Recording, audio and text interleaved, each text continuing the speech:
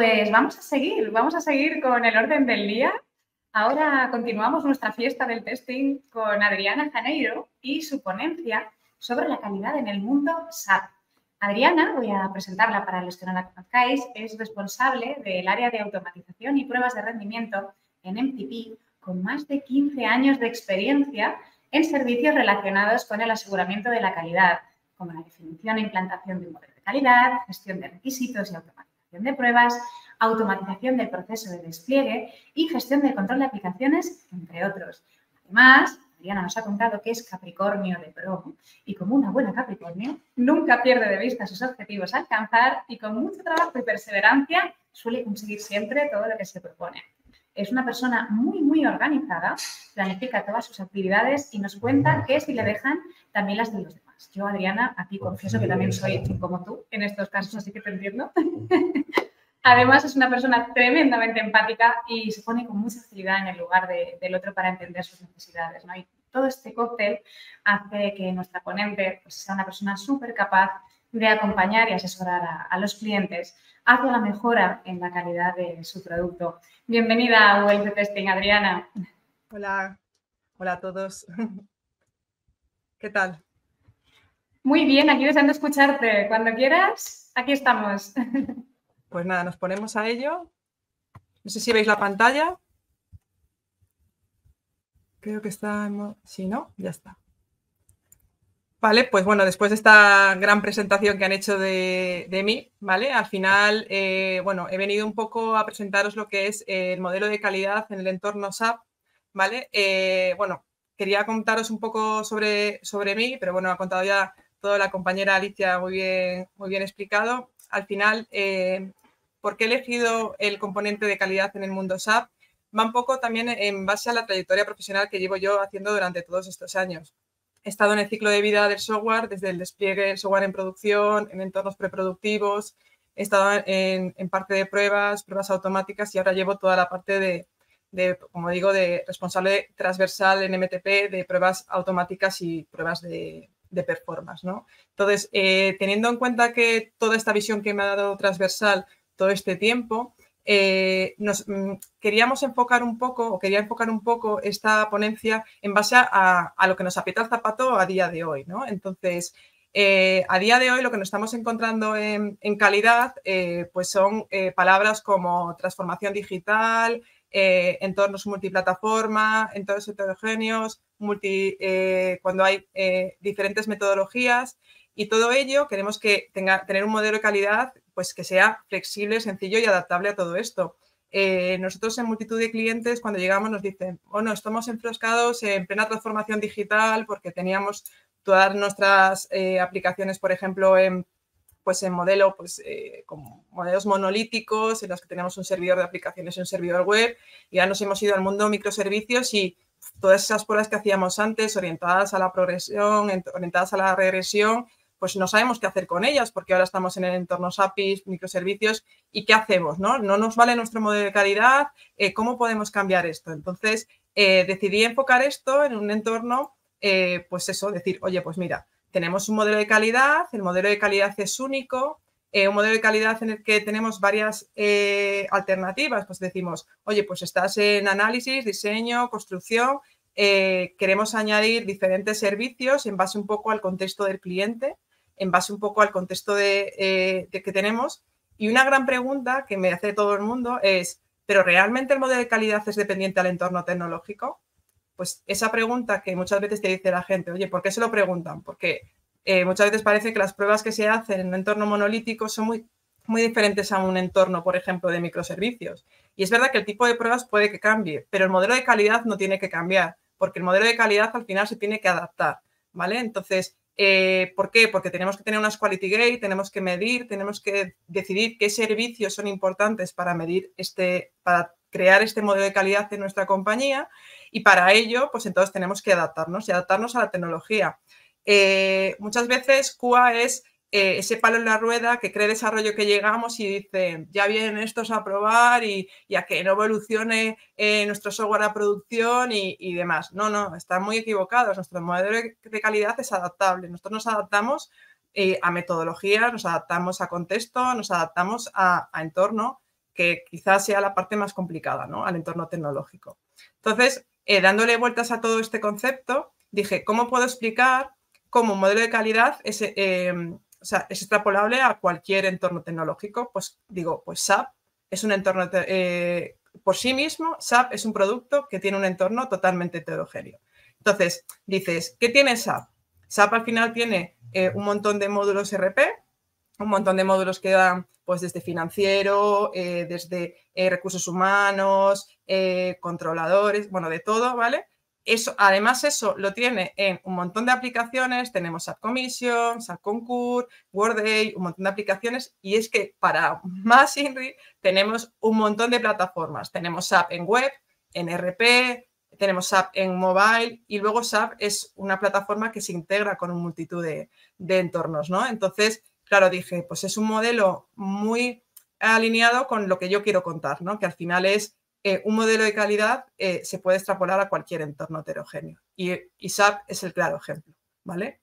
Además, eh, no solo es un entorno heterogéneo, sino que además tiene metodologías diferentes. mucha gente sabrá que SAP tiene dos metodologías principales, la Accelerate SAP y, la Accelerate, y luego tiene el SAP Activate, que son dos metodologías diferenciadas con tipologías de pruebas, unas secuenciales y otras eh, pruebas iterativas. Y este tipo de metodologías, pues al final eh, tienen que adaptarse también a la metodología general o al modelo general que nosotros eh, creemos, ¿no? Entonces, nosotros lo que hemos nos hemos dado cuenta que al igual que nosotros un modelo de calidad nos lo adaptamos a Waterfall y, a Agile, ¿vale? Que, que nosotros al final nos adaptamos al contexto también de metodológico, pues en el caso de SAP, que son metodologías muy concretas, que además esas metodologías en muchos casos también traen eh, quality gates de base de caja que viene SAP con ellas, como puede ser eh, la validación del plan de proyecto o la validación de una serie de o las configuraciones del propio producto, pues eh, nosotros hemos dicho, vamos a ver, realmente nos podemos adaptar a todos los contextos tecnológicos y en este caso también a las metodologías. Entonces, nos encontramos que en un modelo de calidad no pueden faltar pruebas unitarias. Pruebas unitarias en las que tú compruebes el componente y el módulo de manera individualizada. Pruebas de integración. Como he comentado antes, eh, SAP tiene grandes módulos y componentes que se integran eh, con sí mismo y con terceros, con lo cual esa integración es muy importante. Estas pruebas en concreto, por ejemplo, también son pruebas que podríamos sacar a otros contextos, como he dicho antes, al de microservicios, que es un contexto que ahora mismo está al orden del día y también son pruebas que eh, es tan importante probar el micro de manera aislada como también probar la integración entre ellos, ¿no? Pues en SAP pasa un, poquito igual, ¿vale? Probar las integraciones de los componentes también es un punto eh, que hay que probar. Probar el propio sistema. Eh, esto es una parte muy importante porque al final, cuando tenemos productos tipo cliente, pues como puede ser un Salesforce, un SAP, otro tipo de productos, eh, también existen lo que son las pruebas del propio sistema, ¿no? No solo el software que va embebido en él, sino el propio sistema, ¿no? Pues eh, eh, ¿qué, rendimiento tiene, qué estabilidad tiene el propio SAP, si realmente se adapta a las necesidades que tenemos nosotros o, al software que vamos a, meter en ese, en ese producto, ¿vale? Por supuesto, pruebas funcionales, no hay QA sin pruebas funcionales, al final, cuando, cuando hay software, todo el mundo tiene claro cuáles son los requisitos funcionales, todo el mundo tiene claro qué queremos probar y qué queremos que haga. Y en el mundo SAP, además, estas pruebas funcionales van muy ligadas, que luego lo contaré más adelante, a las pruebas un poco del modelo que tiene, vamos a decirlo de alguna manera, el cliente final. ¿no? Eh, al final SAP pues, lo, utiliza el, cliente y, esas pruebas funcionales irían un poco de la mano para cubrir, ese end-to-end que necesita el negocio para, para cubrir esta necesidad. Luego, por supuesto, las pruebas de rendimiento. Yo como responsable del área de rendimiento de MTP no podría olvidarme de estas pruebas, por supuesto, porque eh, muchas veces nos olvidamos de las pruebas de rendimiento cuando para mí son importantísimas, porque eh, siempre digo lo mismo, eh, tú puedes probar toda la funcionalidad que haya en una aplicación, pero como cuando, empieces, cuando entres se te caiga la aplicación porque la concurrencia de usuarios se ha superado, pues al final no hay pruebas funcionales que, que hayan validado, ¿no? Entonces, eh, el rendimiento es parte esencial de todas las pruebas, tanto en SAP como en otro. Me han dicho mucho en contexto SAP y, también es un, creo que un tema relevante, y es, eh, no, es que nosotros en SAP tampoco lo utiliza tanta gente. No hace falta que hagamos pruebas de rendimiento de concurrencia. Pero es que también hay pruebas de rendimiento, por ejemplo, de, experiencia de usuario. Cuando digo experiencia de usuario es pues de tiempos de respuesta cuando entras en una aplicación, de cuellos de botella hacia base de datos, eh, concurrencia de peticiones hacia terceros, ¿vale? Eso también son pruebas de rendimiento. Muchas veces acotamos las pruebas de rendimiento solo al contexto concurrencia y no todo tiene que ver con la concurrencia.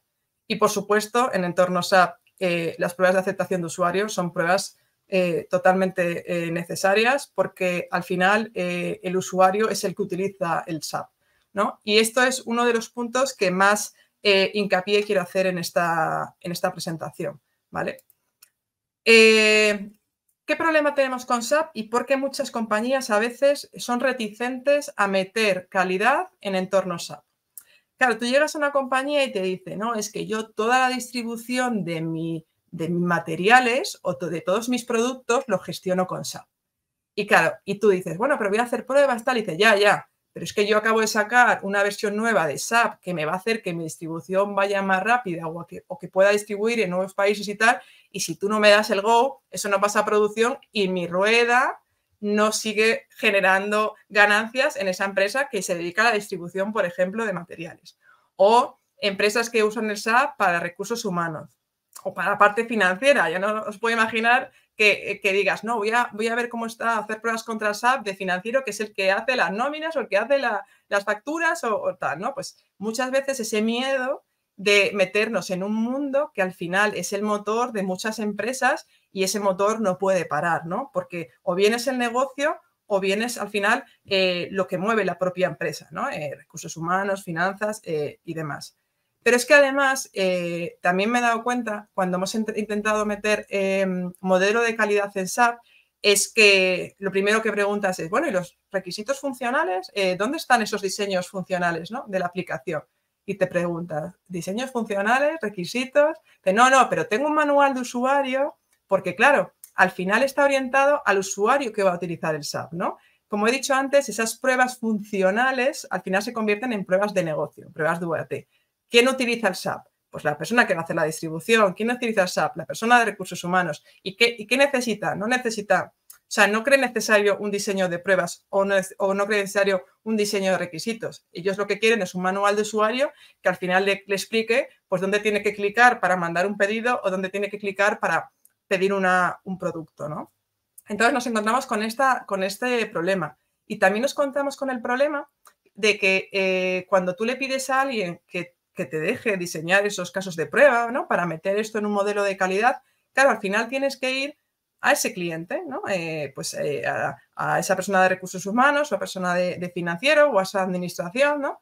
Y, también se notan reticentes porque al final es un usuario no tecnológico y meter un área eh, tecnológica en un área que no lo es, pues a veces también genera reticencia. Entonces, son, SAP es no solo heterogéneo por eh, el contexto que he dicho anteriormente y por la metodología que tiene, sino por también el tipo de, pruebas que se han hecho, ¿vale? Esto también pasa, eh, un modelo similar a este podría ser un modelo de entorno host, ¿no? Por ejemplo, eh, en host nos pasa muchas veces, en empresas que tienen host, que el host lo desarrollan y lo prueban cuatro personas que de histórico Incluso a mí me ha pasado en, una empresa en la que me han dicho, no, es que ahora queremos que este host pasara a una aplicación web porque queremos que evolucionar y es que no hay requisitos, nadie sabe lo que hace, no hay requisitos escritos y no podemos diseñar esa prueba porque no sabemos realmente lo que hace porque realmente el conocimiento lo tiene en cuatro, ¿vale? Entonces, es un poco lo, las trabas que te encuentras, ¿vale? Entonces, vosotros diréis, bueno, me has contado perfectamente pues, el tema de SAP, qué hay, eh, cuáles son los problemas, cuál es el contexto, ¿vale? Pero Aún así, yo quiero meter un modelo de calidad, porque un modelo de calidad, a lo mejor en web lo tenemos todos muy claro, pero a lo mejor en SAP dice, a ver, Adri, dime qué tengo que hacer para meter ese modelo, ¿no? Pues lo primero principal es encontrar objetivos, ¿vale? ¿Cómo, ¿Qué objetivos buscamos al implantar un modelo de calidad, ¿vale? Entonces, un modelo de calidad tiene que ser, como he dicho antes, extrapolable al resto de proyectos. No puede estar ceñido a un contexto tecnológico y no puedo hacer un modelo de calidad que sea solo y exclusivamente para la aquí y a la hora tenemos que pensar más a lo grande. Es decir, yo tengo una compañía que está en, una, en un contexto de transformación digital en la que ahora mismo quiero meter el modelo de calidad en web, pero resulta que es que tengo, estoy orientando mi, negocio a microservicios y tengo además tengo SAP y además tengo web y tengo app. Pues todo esto tengo que pensar un modelo en que todo eso se tenga en cuenta, porque como os diré más adelante, se tiene también en cuenta para el tipo de herramientas que vas a introducir en ese modelo de calidad, por ejemplo. ¿Qué quiero implantar y para qué lo quiero implantar? Eh, ¿Qué visión quiero dar? Pues la visión de producto y la visión de proceso. La visión de producto, porque quiero saber cómo está mi software. Muchos clientes me preguntan, oye, ¿cómo está mi aplicación? Bien, mal, tal. Y muchas veces has hecho pruebas que no te pueden dar esa respuesta, porque ni sabes la cobertura de pruebas que, has cumplido respecto a los requisitos, ni sabes tampoco eh, dar esa visión. Entonces hay que tener muy claro cuando implantas un modelo de calidad, qué visión quieres dar y una visión de proceso. Muchas veces montamos procesos que no medimos y también tenemos que medir que nuestro propio proceso que hemos implantado está dando los frutos que tiene que dar. Proponer indicadores. No se puede eh, eh, tener un modelo de calidad si no se mide. ¿vale? Hay que medir, hay que medir, hay que dar soluciones, hay que dar indicadores. ¿Cuánto esperamos de concurrencia de usuarios? ¿Qué esperamos de vulnerabilidades que encontremos en calidad de código y se tengan que subsanar? ¿Qué esperamos de eh, cuántos requisitos funcionales se van a cubrir en esta release? Todo eso tienes que medirlo con indicadores y medirlo para saber cuánto cubres de calidad. Una metodología ágil y flexible, como he dicho, cuando venimos QA muchas veces desarrollo echa para atrás y dice ya vienen estos a, a, poner piedras en el zapato. No, no, somos flexibles y adaptables. Nosotros nos adaptamos a, lo que hay. Que tenéis waterfall, waterfall, que tenéis SAP, SAP, que tenéis otro tipo de metodología, nosotros nos adaptamos porque la metodología y la implantación que vamos a hacer es flexible. Una hoja de ruta, como ha dicho eh, en mi compañera, eh, soy Capricornio, siempre tengo que tener una hoja de ruta, ¿vale? Tengo que tener claros objetivos y creo que los objetivos son fundamentales. Eh, yo he tenido a veces clientes que me dicen, bueno, pues quiero que me automatices y le digo, ¿pero automatizar? ¿Pero para qué? No, no, quiero que me automatices, pero hay requisitos. No, no tenemos requisitos, pero habrá que empezar por requisitos y luego por pruebas funcionales y luego automatizar. No, no, quiero que me automatices. No, no, tenemos que tener una hoja de ruta clara, una implantación de, servicios clara y una hoja de ruta para saber eh, cómo hacer esta extensión al resto de arquitecturas, ¿no? Y desde el punto de vista, para mí, eh, la estrategia de ICCD está clara. ¿vale? Eh, creo que no solo hay que pensar en la automatización de pruebas, sino hay que pensar en la automatización de proceso, ¿vale? Nuestro compañero anterior ha estado explicando en la ponencia anterior toda la parte que, todo lo que viene de inteligencia artificial con ChatGPT y con otras tecnologías que está evolucionando para que vayamos más rápido. Y de la manera de ir más rápida, al final es con la integración continua y con el que al final el proceso sea automático y sea cada vez más rápido. Estamos, tenemos compañías eh, eh, en el mundo con un auge con Google, eh, Amazon, compañías que tienen un producto y a los cinco minutos ya lo tienen en producción. Esa rapidez nos hace que las estrategias del end-to-end, de integración de pruebas, tenga que ir lo más automatizado posible y evidentemente lo más rápido posible. Entonces, ¿cómo podemos adaptar, cómo podemos ayudar al cliente? ¿no? Para mí hay cinco pilares fundamentales para eh, integrar un modelo de calidad en un cliente. El primero es implementar un proceso, un proceso que os explicaré de manera sencilla eh, lo siguiente es qué tipo de pruebas voy a, voy a implementar en ese modelo de calidad. En esto entrará mucho el contexto en el que nos encontramos y el cliente. Eh, la implantación de herramientas. Llega un momento que las herramientas juegan un papel fundamental en el modelo de calidad. Eh, en algunos casos incluso decisivos. hay servicios en los que se requiere una herramienta de, de, calidad, o sea, una herramienta eh, como puede ser calidad de código, necesitas una herramienta para poder implementar un servicio de calidad de código en condiciones que te dé esa visión, ¿no? Y luego ya, si nos eh, vamos a, cosas, pues por ejemplo, en un control de versiones, eh, una integración continua, todas esas herramientas que nos ayuden a que el proceso tenga una trazabilidad y tenga una mejora. propuesta de Quality Gate, como he dicho, ¿qué vamos a medir? ¿Qué queremos medir? ¿Y qué consecuencia nos va a dar esto? Quality Gate que nos dice, pues mira, mi umbral para pasar a producción es que el 80% de las pruebas funcionales estén ejecutadas y ok. Y de ahí no me muevo. Y si no, la calidad de mi producto sería, estaría por debajo de lo que es aceptable en mi compañía. Pues esa quality gate, ponerla y, conservarla en todo el ciclo. Y luego la monitorización de la calidad. Y esto es un concepto que, a mí me gusta mucho porque muchas veces eh, a mí me preguntan clientes que dicen, Ariana, pero los servicios que hacéis que son eh, eh, servicios estáticos, o sea, un servicio que tú llegas, haces una ejecución y te vas, o un servicio de largo plazo. Nosotros hacemos varios tipos de servicio, ¿no? Pues, servicios que tú puedes llegar, hacer una ejecución para ver una línea base de cómo está un servicio o cómo está una aplicación en un momento dado, pero si ese, esa foto, esa foto que haces de repente de una aplicación, no las continúas en el tiempo, realmente pierdes mucho eh, la visión de calidad Porque pierdes una visión que para mí es importantísimo y es la de degradación.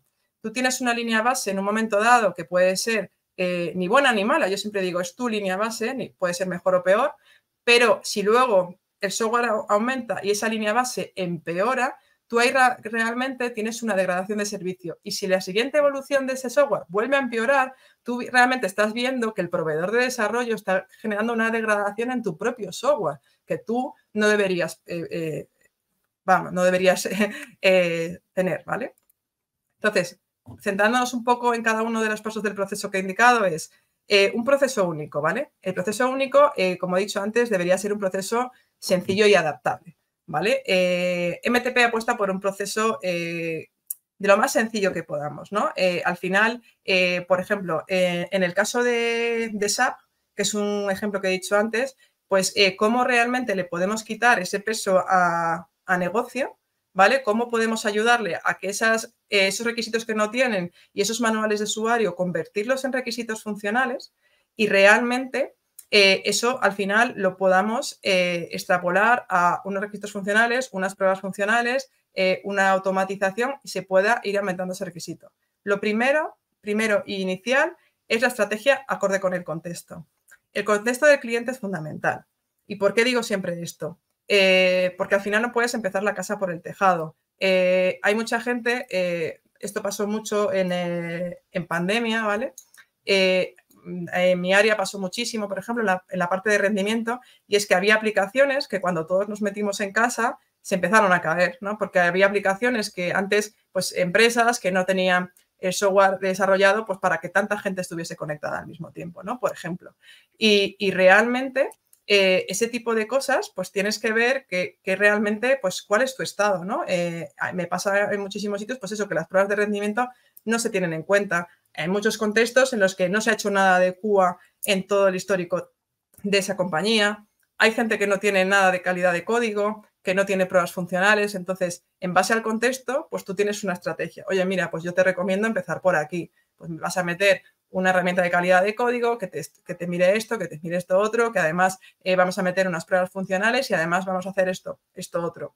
¿Por qué no voy a empezar por automatización? Porque si no tengo requisitos, pues al final me saldría mucho más complicado, ¿no? Pues ese, esa estrategia en base al contexto, pues podría ser uno. O hay otros contextos, pues que me dice un cliente, mira, resulta que yo llevo haciendo pruebas funcionales un montón de tiempo, llevo haciendo eh, un montón de tiempo calidad de código, pero Resulta que ahora queremos meter todo esto en integración continua en una pipeline para que al final tener una Squad de manera automatizada porque queremos tener un desarrollo que vaya a producción con muchísima más rapidez. Pues entonces la estrategia tiene que empezar por a ver cómo tenéis esas pruebas, cómo tenéis esas quality gate eh, implantadas y cómo podemos meter, por ejemplo, una automatización. O, por ejemplo, eh, compañías que nos ha pasado que de repente encuentran vulnerabilidades y, tenemos que meter pues, una seguridad, otro tipo de cosas, ¿no? Pues eso, ahí va un poco el, tipo de pruebas, ¿no? ¿Qué tipo de pruebas tenemos y que ese tipo de pruebas también nos esté, dando un poquito de, visión, como digo, de cómo está la calidad? Eh, a mí he pasado, por ejemplo, de clientes que me dicen, vamos a automatizar mogollón. Y tú dices, ¿cómo que mogollón? Y dices, sí, sí, todo lo que tengamos lo vamos a automatizar. Y tú te pones a automatizar, pin, pin, pin, y pasa un año y automatizas 500 casos de prueba, ¿no? Y entonces empiezas a ejecutar, boom, boom, boom, y te das cuenta que nunca reporta un error que nunca encuentras una incidencia. Tú dices, hombre, pues es que a lo mejor los casos elegidos para automatizar eh, o a lo mejor eh, esa estrategia que has seguido no es la adecuada, ¿no? A lo mejor, ¿no? Pues entonces elegir muy bien ese tipo de pruebas que vas a hacer, ¿no? O ese aumento de cobertura o, como digo, eh, si has cambiado de una estrategia de monolítico a un microservicio, pues a lo mejor empezar por tipo de pruebas APIs, de micros, ese tipo de cosas. La automatización, como os he dicho, como responsable de automatización, creo la automatización al 100%, eh, no solo de pruebas funcionales, sino de pruebas funcionales, de pruebas APIs, eh, de progresión, de regresión. Eh, creo en la automatización al 100%. es, clara, es un claro ejemplo de rapidez y cobertura. creo que automatizar no deja, deja paso a que la parte funcional aporte mayor valor y, genere requisitos que aportan mayor valor dentro de la, propia compañía. Y como he dicho, la automatización no solo centrada en las pruebas, sino también centrada en, los propios, en el propio proceso, ¿no? Al final, eh, lo que queremos un poco con todo esto es decir, pensamos a lo grande. O sea, tenemos que pensar en qué queremos a largo plazo. Evidentemente siendo realistas, pero hay que pensar siempre en, una, en dónde nos vamos a quedar, no, dónde queremos llegar, con nuestro roadmap paso a paso, pero eh, pensando en una automatización. Creo que a día de hoy eh, un modelo de calidad sin una integración continua o un, modelo de calidad sin, sin unas herramientas eh, de manera automatizada, creo que es un modelo de calidad que, que, aún le queda bastante recorrido para poder aportar todo el valor que podría aportar en una, dentro de un cliente. Y como he dicho antes, la parte de monitorización medir, medir, medir, quality gaze. Em, mira, eh, hace no mucho en un evento eh, estábamos hablando de, automatización y entonces salió el tema de que no, es que hemos automatizado em, eh, mil casos de prueba que ejecutamos a diario tres veces al día y, entonces esto nos da que al final, al final de mes hacemos treinta y pico mil casos de, de ejecuciones, tal y cual. Y la pregunta del cliente fue, ¿eso es poco o mucho? Claro, esa es una gran pregunta, ¿vale? Esa, es la pregunta que nos tenemos que hacer. Mm, en mil casos de prueba automáticos son pocos y muchos, no. ¿Qué cobertura de pruebas está abarcando ese? Eh, ¿Nos está automatizando todo el core? ¿Tenemos toda eh, la funcionalidad eh, que queremos abarcada dentro de ese core? ¿Nos está reportando algún valor? ¿Es suficiente esa automatización para realmente lo que queremos medir? Pues eso es lo que tenemos que hacer. ¿Vale? Y, en otros casos, por ejemplo, em, en, el caso de calidad de código, por ejemplo, son, casos muchísimo más mm, que encima la propia herramienta te da mucho más valor, ¿no? Que, te dicen, oye, pues hemos encontrado estas, vulnerabilidades. Pues es que eh, con cierto grado de vulnerabilidades a producción no vas a pasar, ¿no? O sea, eh, vulnerabilidades críticas, stopper y aquí no pasas a producción y realmente así debería ser, ¿no? Nuestra calidad dice que todo nuestro software de la compañía X no va a pasar a producción con vulnerabilidades críticas, por ejemplo. Pues son esos stoppers o esas quality gates que nosotros queremos eh, tener en, nuestra, en nuestra compañía.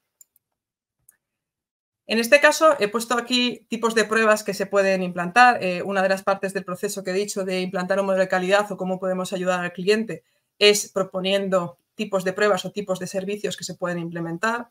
Em, aquí no he puesto las pruebas eh, unitarias, ¿vale? Eh, luego hablaré de ellas, pero para mí las pruebas unitarias son parte fundamental de cualquier software, ¿vale? Creo que eh, hay que tener claro que, un software que no, o sea, un software que no tenga pruebas unitarias no se va a, no se va a, digamos, a justificar haciendo más pruebas funcionales. O sea, las pruebas funcionales son para lo que son y las pruebas unitarias son para lo que son. Muchas veces te dice un cliente, no, es que no conseguimos que desarrollo haga pruebas unitarias, pero si hacemos más pruebas funcionales, a lo mejor eh, detectamos, no, no, las pruebas funcionales son para lo que son y cada tipo de prueba o cada tipo de servicio que nosotros queremos implementar en un modelo va a dar la cobertura de ese propio tipo de servicio. O sea, las pruebas funcionales nos va a dar un tipo de cobertura y nos va a dar un, un nos va a retribuir un valor a nivel de QA que nos va diferente al que nos puede retribuir rendimiento y diferente al que nos puede retribuir seguridad, teniendo en cuenta que cada uno de los servicios que nosotros implementamos nos va a dar una visión de calidad diferente. Ni uno es eh, dependiente de otro, pero tampoco porque no tengas uno, con otro va a compensar. Eso no va así. Entonces, eso también lo que tenemos que tener en cuenta, ¿no? Que al final, eh, cuando queremos un modelo de calidad completo, qué tipo de pruebas tenemos que ir integrando en este, en esta, en este tipo de modelos, ¿vale? En SAP, por ejemplo, eh, esto a veces es un problema, ¿no? Por ejemplo, en entornos como SAP, porque eh, muchas de, estas, de estos productos, eh, bueno, sí, SAP o Salesforce, otro tipo de productos, cuando quieres meter tipos de pruebas, son dependientes de herramientas comerciales, ¿vale?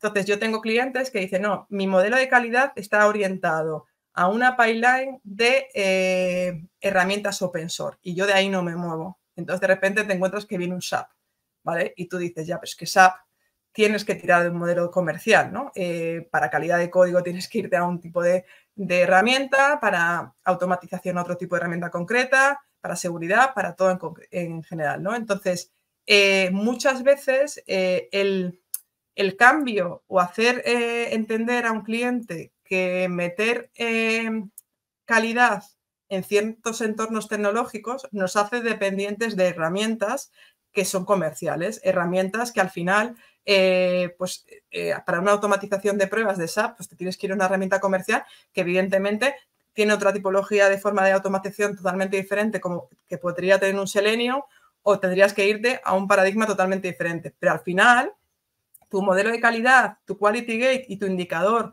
de eh, la cobertura de pruebas que quieres de esas pruebas en concreto, tiene que seguir siendo la misma. Dependas o no de una herramienta para su implementación, por ejemplo, en este caso.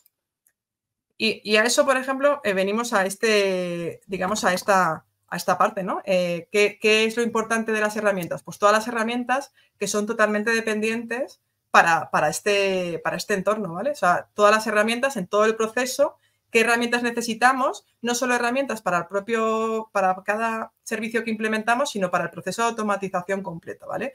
Que es una cosa muy importante a tener en cuenta, ¿vale? Yo aquí he puesto unas, eh, unas herramientas tipos, pero bueno, hay miles de herramientas que podríamos eh, tener en cuenta para implementar un modelo automatizado de un modelo de calidad eh, en una pipeline, por ejemplo. Y para mí la parte más, más importante de todo esto que os he contado, como he dicho, es la medición.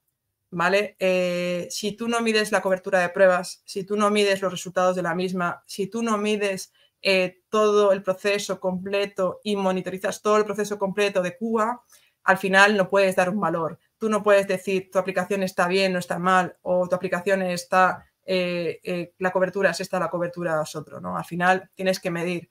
Y al final la cobertura total de una, de una aplicación es la suma de todas las coberturas, eh, de, todas las pruebas que tú implementes. ¿Qué significa esto?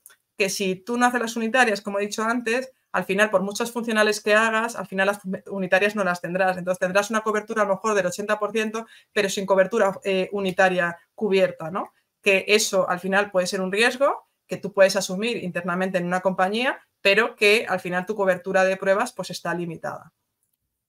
Y otra parte muy importante que, que, a mí me parece, ¿vale? Y es realmente la visión que tú quieres dar, ¿vale? Para mí hay tres pilares fundamentales en calidad de visión es visión de producto, visión de proyecto y visión de servicio. Visión de servicio es nosotros mismos como CUA tenemos que medir nuestro propio servicio, que es qué evolución tiene nuestro servicio, qué, qué estamos haciendo en el servicio y para qué, eh, qué está midiendo o qué estamos haciendo. Pues hacemos 100 pruebas eh, manuales, tantas tal, o sea, medición del propio servicio de CUA. Nos tenemos que medir porque también tenemos que ser exigentes con nuestro propio eh, proceso que implantamos en una compañía.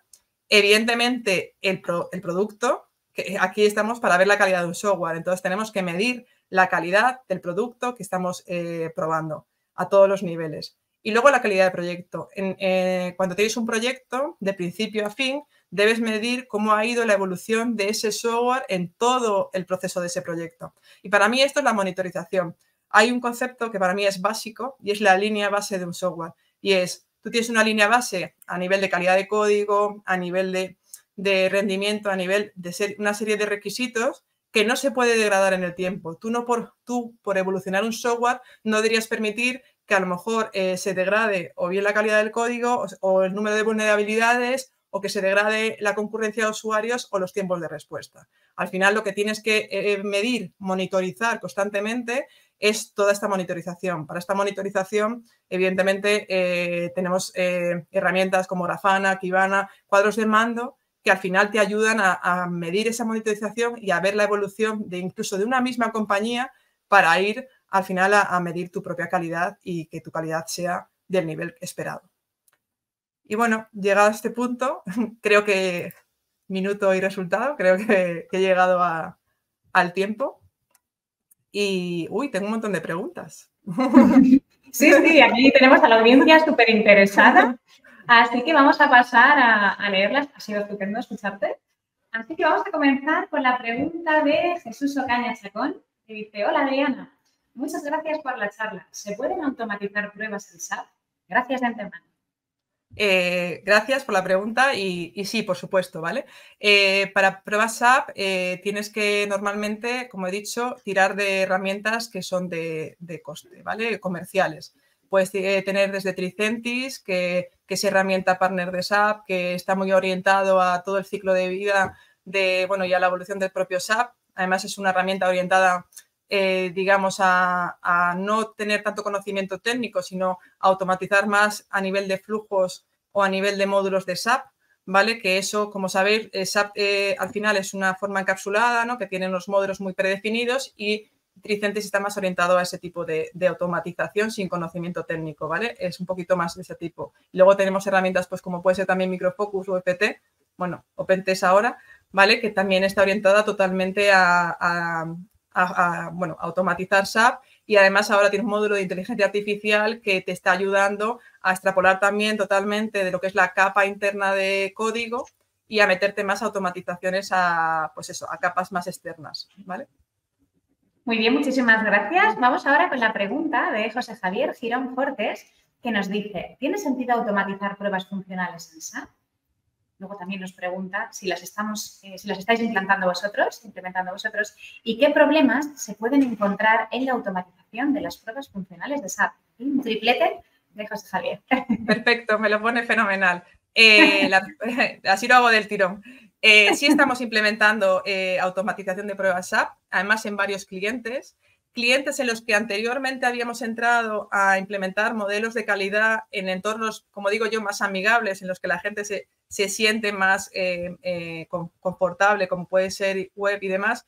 Y, una vez más han entrado en el, modelo SAP y han dicho, pues también queremos meter aquí la calidad. Por supuesto que tiene sentido eh, automatizar pruebas de SAP. Además, como he dicho antes a tu compañero, hay herramientas tipo Tricentis que además eh, ayudan a automatizar eh, volumen de pruebas, que con el mismo caso de prueba automatizado, eh, metiendo un número alto de, datos, pueden probar, probar volumen, que por ejemplo en el caso de SAP, como hay muchas casuísticas diferentes y muchas diferencias de resultado dependiendo del usuario, pues eso, por ejemplo, la automatización te viene muy, te viene muy al dedillo, por decirlo de alguna manera, ¿vale? Y los problemas principales es lo que he comentado antes, es la eh, que no hay requisitos eh, realmente, ¿vale? Que, el SAP lo conoce la gente que utiliza SAP. Entonces, eh, muchas veces nos encontramos que cuando queremos hablar de requisitos o que alguien me explique cómo puedo automatizar un flujo, pues me, me, graban vídeos de cómo trabajan en el día a día y me dicen, mira, esto es lo que hago, ¿no?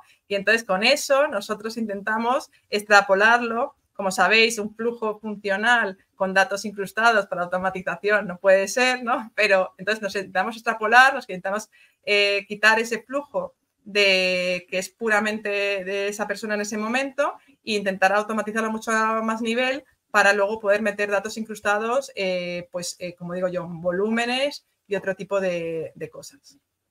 Un poco al hilo de, de tu respuesta, José Javier nos decía si no existían librerías open source que permitieran automatizar funcionalmente esa.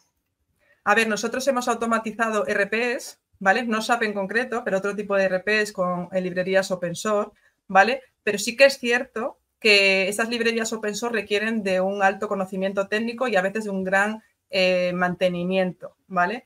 Que muchas veces sabemos que al final la automatización te tiene que retribuir, tienes que tener un ROI de vuelta y la inversión que tú tienes en esa automatización, pues muchas veces es complicado cuando tienes un alto mantenimiento. Entonces, nosotros sí que hemos probado automatizar open source en entornos RP, pero, eh, como digo, con un alto mantenimiento y con un coste bastante elevado de conocimiento técnico. Entonces, muchas veces estas herramientas que os he comentado eh, están orientadas a que la persona que automatice no tenga un conocimiento alto técnico y se ha derivado en que eh, estas automatizaciones están delegándose en, gente con conocimiento funcional y no técnico. Entonces, se ha cambiado un poco como, el contexto de tecnología. el paradigma. El, paradigma un poco de la automatización. Menos conocimiento técnico y más, eh, y más automatización por el cliente o por el usuario final.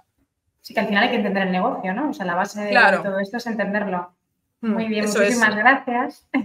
Mm. Andrés o Carlos Moreira da Silva también nos hace una pregunta a través de la plataforma y nos dice, ¿crees que este es un gran problema de las empresas? Ellas quieren que se automaticen las pruebas, pero ni siquiera tienen estructuradas las pruebas manuales.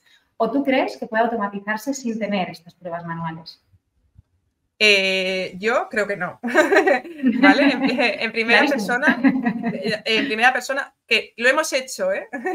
pero, no creo que, pero no creo que sea el contexto más amigable, ¿vale? Desde mi punto de vista, como he dicho, cuando tú implementas un modelo de calidad, tienes que empezar, no puedes empezar la casa por el tejado. Que te lo piden, sí, que lo haces también, que lo haces con mayores dificultades también. Al final lo que haces es que ese automatizador genere requisitos mientras se está automatizando de alguna manera, porque lo que se, que se trata es que tienes que tener unos requisitos funcionales estructurados, eh, si puede ser en una herramienta, para tener una trazabilidad de lo que es al final requisito barra software que vas a probar y de ahí automatización y core de esa automatización. Entonces, para mí sí que sería imprescindible que haya unas pruebas que se han hecho automatizaciones sin pruebas funcionales, por supuesto, que es, eh, que, es, que es, lo más óptimo. Desde mi punto de vista te diría que no. Es imposible, tampoco es imposible. Hacemos lo que podemos, ¿no? Hacemos, lo, que, podemos. Eso es. Muy bien, muchísimas gracias y muchísimas gracias también a, nuestros asistentes por hacernos interactuar. Eh, nos, hemos ido ya de tiempo, si te das cuenta, nos ha pasado volando. Adriana, nos ha encantado tu ponencia. Muchísimas gracias por trasladarnos al mundo SAP estos modelos de calidad y ver cómo integrarlos para ayudar al cliente, que al fin y al cabo es lo que todos queremos, ¿no? Así que, bueno, lo dicho, encantadísimos de tenerte en VLC Testing 2023 y esperamos verte muy prontito de vuelta. Un abrazo bien fuerte. Un abrazo a vosotros, muchas gracias. Hasta luego.